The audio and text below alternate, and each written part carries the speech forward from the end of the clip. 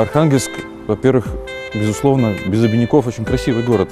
Э, Во-первых, потому что благодаря своему географическому положению, реке, замечательной набережной, э, когда вот у меня приезжают друзья из других провинциальных городов, не из Москвы, там, не из Петербурга, а из, допустим, Перми или вообще из Сибири, из Новосибирска, когда они выходят на набережную, они просто ну, падают в обморок от такой красоты.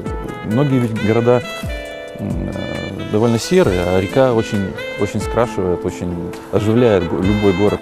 Я родился в Архангельске, то есть получается, что я коренной архангелогородец, и самые, наверное, приятные и яркие впечатления, они всегда из детства. И вот у меня э, отложилось в голове четко, когда я ходил к отцу на работу, который работал здесь на областном радио, мимо этого здания пивзавода, э, за- запах солода, когда варили пиво, был очень густой, стойкий запах солода. Вот из этих, вот заложенных окон он шел.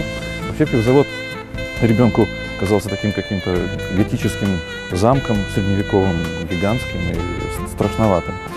Вот. Но потом он прекратил свое существование, стал называться памятником архитектуры, и мне кажется, что возрождение этого здания и возвращение его в город так- в таком именно, в культурном, в образовательном, просветительском плане, это серьезное дело вообще для нашего города.